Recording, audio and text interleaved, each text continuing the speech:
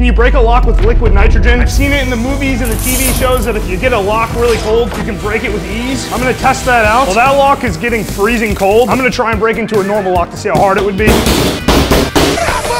There is actually no chance I'm breaking this. Unless.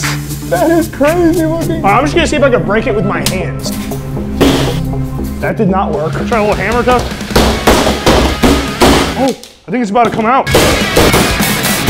Yet again, Hollywood lied to us.